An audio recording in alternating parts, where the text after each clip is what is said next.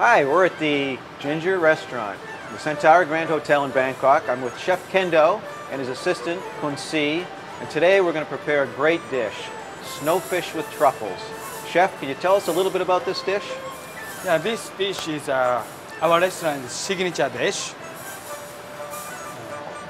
We use a snowfish with the truffe, and we, we will give the cream sauce with the sakura leaves.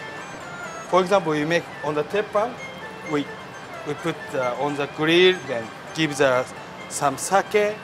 Sake. We're going to Yeah, use and- sake to steam it? Yes. Oh, Gives them more flavor. And Yes. we cover the- this uh, crush. There we go.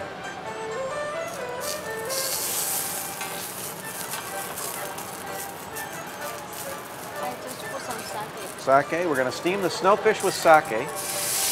Ooh, yeah.